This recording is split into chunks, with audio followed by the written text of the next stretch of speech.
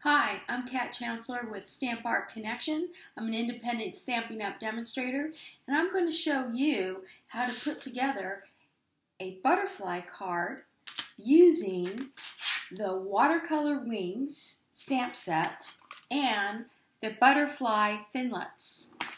So let's get started. What you're going to need to make this card is a pair a piece of melon mambo by five and a half by four and a quarter, a piece of peekaboo peach by five and three fourths, and a square of daffodil delight, which we're going to cut with our layering squares. You're going to need a piece of vellum and a piece of white cardstock so that we can stamp and then cut our butterfly.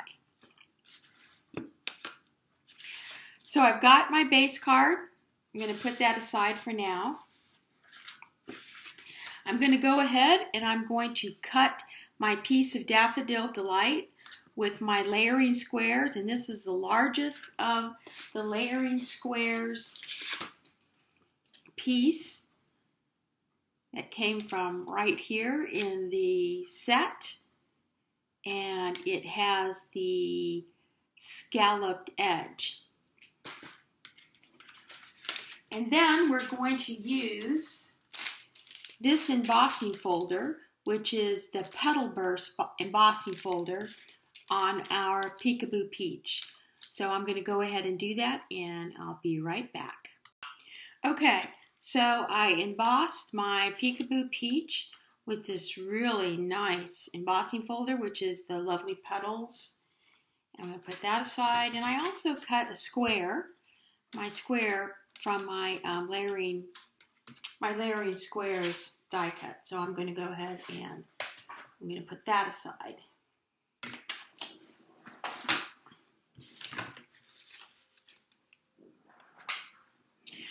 Okay, so now I want to stamp my butterfly.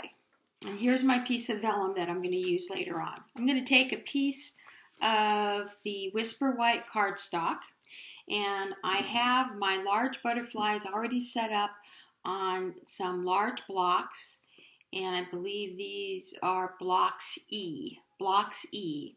And the first thing I'm going to stamp is going to be my base color and I'm going to use this stamp here. And I have all my colors right here. So I'm going to use the, I'm going to use a Peekaboo Peach.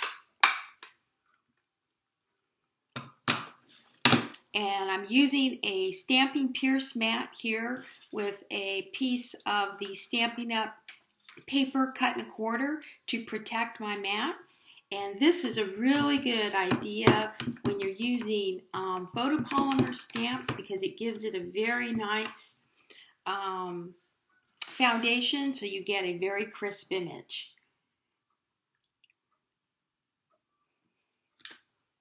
Okay, so there's my first piece. I use my Stampin' Scrub to clean my stamp. And then my next color is going to be the, the Flirty Flamingo. And I'm going to use this color with my Flirty Flamingo. And I'm using this this stamp here.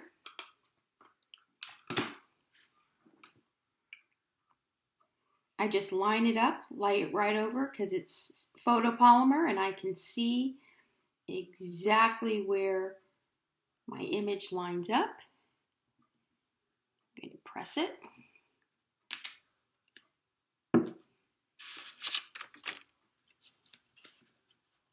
So you can see how very nicely that showed up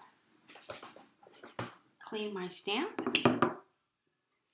And now I'm going to use this large stamp here. And let me go ahead and close my ink pads. With my Melon Mambo, this is a really nice bright pink. Love this color. Nice and juicy. Again, I just lay it over my image. I can line it up very nicely. And straight down, straight up, and there you go. Gorgeous looking, gorgeous looking butterfly. So for the middle of my butterfly, there's this little piece that is in the stamp set. And I like to use uh, Early Espresso. It's a nice brown color and it just gives it the right the right tone. So I'm going to go ahead. I'm going to stamp that. Okay. So you can stop right here and you can choose to cut out your butterfly just like this and you can put it on your card. But I'm going to go a step further and I'm going to cut out my butterfly using the butterfly framelits. And this is the framelit I'm going to use. So I'm going to lay this over and I'm going to cut this out with my with my big shot. I want to take a minute here and I just want to show you the different options you have with your butterfly. You can use this framelit here, which cuts out your butterfly beautifully if you just wanted to use that image. And what I would recommend is using the magnetic platform for your big shot, your base plate, and with using your magnetic platform, when you set your paper on top of it, your framelit snaps very easily in place. You can position it and it will stay in place for when you put your top plate over and then you use your big shot. The other option you have, and this is what I'm going to do now, is I'm going to use this um, die which is very intricate. And I recommend that you use the new Big Shot platform, which if you can see, it actually has right here, you can see this, this level where there is a built-in shim in the center of it to make sure that you always get a very good cut. So you layer your new Big Shot platform. This is a precision base plate, which is especially made for cutting these intricate dies. You lay that down. You lay your paper, your die right over where you want to cut, and your top plate. And we're going to run that through the big shot and I'll show you what happens. Hey, I'm back from cutting out my butterfly using the big shot. And I failed to mention that with the brand new big shot platform, there is another smaller platform called the thin die adapter platform. That needs to be layered with your precision base plate. So I forgot to add that and I wanted to make sure I let you know. Okay, so now I'm going to go ahead and I'm going to cut out my butterfly and I wanted to show you how easy it is. Here's my butterfly, it's been cut out and what I'm going to do is I am going to use my die brush. I'm going to pop out and you can see I still have the paper in there and there's lots of little pieces that have to come out. I'm going to put this down on this foam pad and I'm going to use the die brush and just very gently run it across the paper.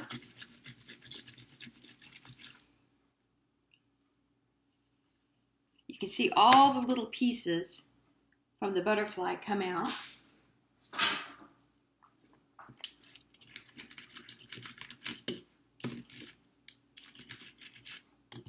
And here you go. There's your butterfly. Okay?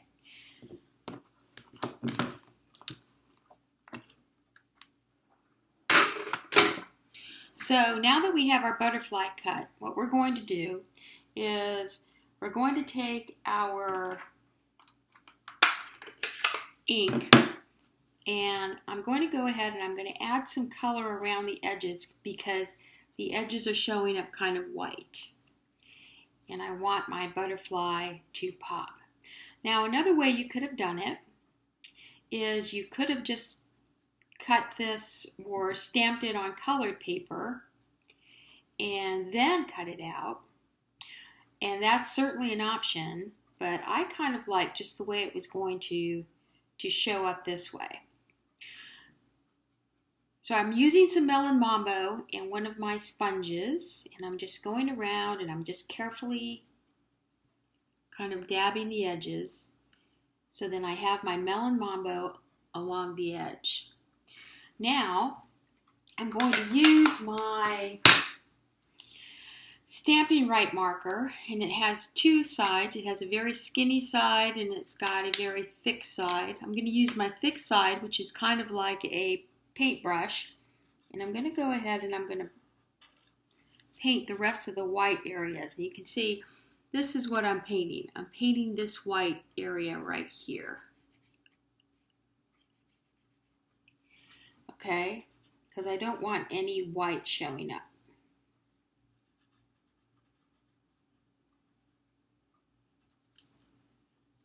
Now my, um, and there you go. See how pretty that is? Now my little, um, my little butterfly body was a little bit off from how I cut the die, if you can kind of see that. But that's not a big deal because I'm going to go ahead and I'm going to restamp it.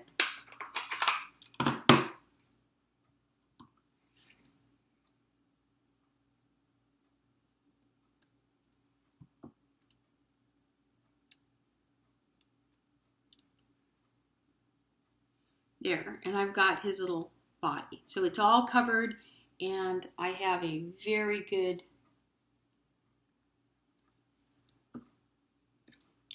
I have a very good insect body now on my butterfly. Okay? Go ahead and clean my stamp.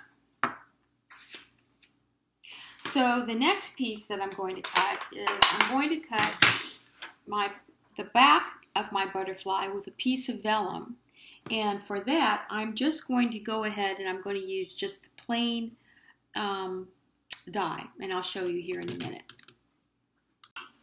Okay, I used my Big Shot and I wanted to show you the layers that I use. Here's my top plate. Here's my vellum. And here is the die that I used. On the bottom, I'm using the magnetic platform and you can see how nice my image sticks to my paper and I just punched that out and there it is, just beautiful. So I'm going to put my, put my die aside and I have my piece. I'm going to go ahead and put these aside.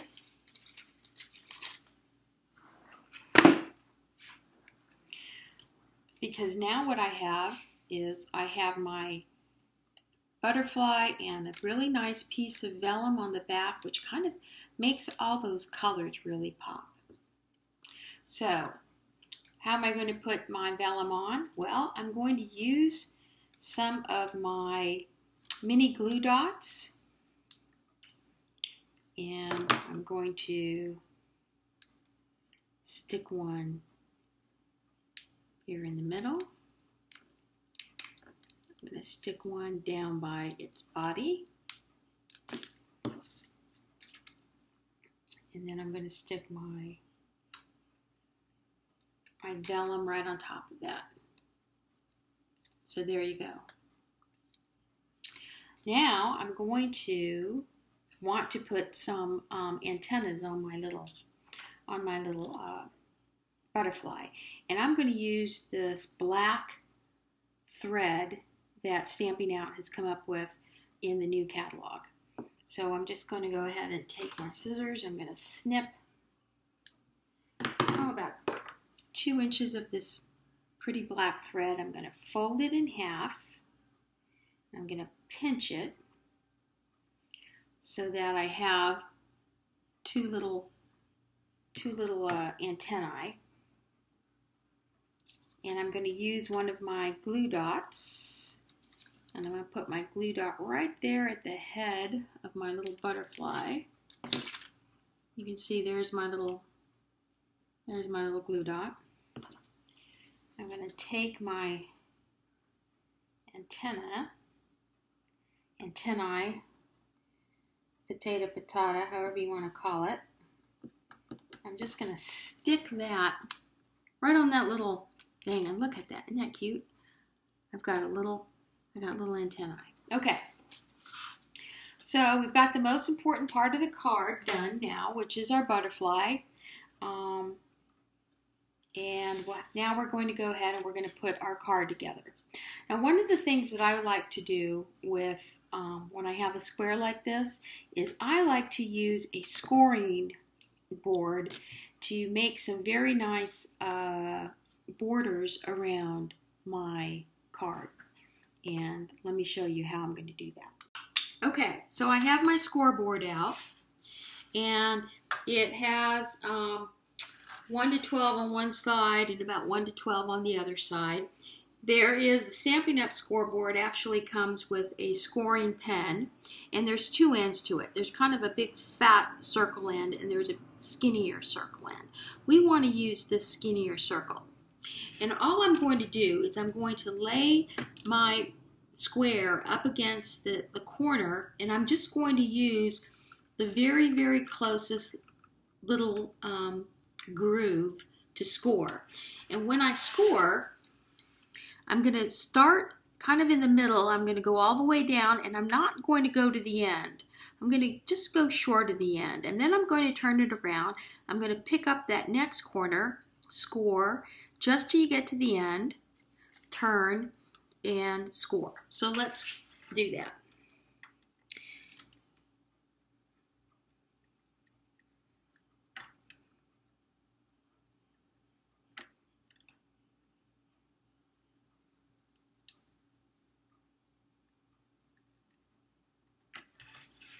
turn.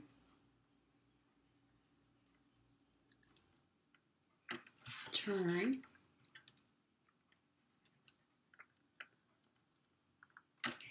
Turn. Turn. Okay. So let's say, here it is. Looks pretty good okay? You can see the little score lines. So let's say I went off a little bit with my with my score and I kind of uh, maybe went into the middle, like right here. How do I fix that? Okay, let me show you.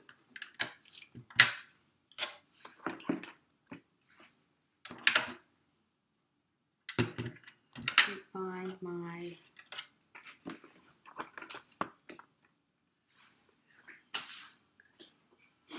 I had to find my Stampin' Pierce mat. But what I would do is I would turn it over and where I see the little area that I may have gone over, which isn't very noticeable, but it's kind of right about here, I would lay it and I would just very carefully just kind of rub it on the other side and you'll pop it back up so it's no longer so it no longer shows that it's been scored on that side. Okay? So if you if you kind of by mistake or as you're scoring kind of go off a little bit, it's not lost. Just turn it around on your piercing mat. Use the very big end and very gently just kind of rub it back, rub it flat back back into place and it'll be good to go. Okay, so now we have that piece done. Let's go. Let me get all the pieces and we'll put them all together. Okay, I got all the pieces for my butterfly and I'm going to go ahead and put it together. So I'm going to use some snail adhesive and I'm going to turn my my uh, embossed piece around and I'm just going to some pieces and I, I like to be generous with my snail because I don't want my card falling apart when I send it off to someone. Okay, press that into place. I'm going to pop this up on some Stampin' Dimensionals so it has a little bit of um, dimension. So let me get my dimensionals. I'm going to um, turn it over, put my dimensionals around my square. Again, I I like to be um, generous with my dimensionals, but I also make sure that I use absolutely every piece. Here's a sheet of dimensionals that I've pretty much used everything, but even these end pieces um, I will use to to um, do my cards. I, I don't like to waste my um, my supplies and my products because they are very they are expensive and um, I do like to be uh, as careful as possible. All right, so now we're going to go ahead and we're going to put this in the middle of our card like that. Okay, so you can see how nice that looks. Okay, and we're going to put our butterfly. And I like to bend up the wings a little bit. And I'm going to go ahead and use the glue dots. And what I do is I just kind of like peel back my paper. I grab my I grab my glue dot that's right there and I just press it down the body of my butterfly and I'll put three, at least three, just to get, make sure I have good adhesion. And these things are pretty sticky. And I'm going to turn it a little bit to the side like this. I'm going to press it, and there you go. Look at the, he's got his neat little antennas that we made with the um, black thread. Pretty wings, really nice kind of gossamer look with the uh, with the vellum wings on the back. Here's my first card, so there you go. That wasn't really hard to do. You could make a couple of them in um, in a, in about uh, 30 minutes or so. I also wanted to show you some um, variations on the theme. I did the same thing with this butterfly. Um, I uh, stamped it on white paper and then I went ahead and, and filled in the white with the, uh, with the ink and put it on the vellum. And then I used some of the different embossing folders and I used this same embossing folder, the petal embossing folder, on white, only I took a dauber sponge dauber and I sponged it so that you could kind of see you could kind of see the um, that texture come in. And then this card was simply Daffodil Delight um, with a stamp that gives it a nice background. I put a little bit of the brand new um, burlap ribbon and you can see some of the gold uh, thread. And then I cut this butterfly. It isn't stamped, but it is um, embossed. It's vellum with gold embossing on it, and I even embossed the little the little gold um, little gold body there. And it also has the little black. It has the little black uh, antennae, and you can see the the gold thread.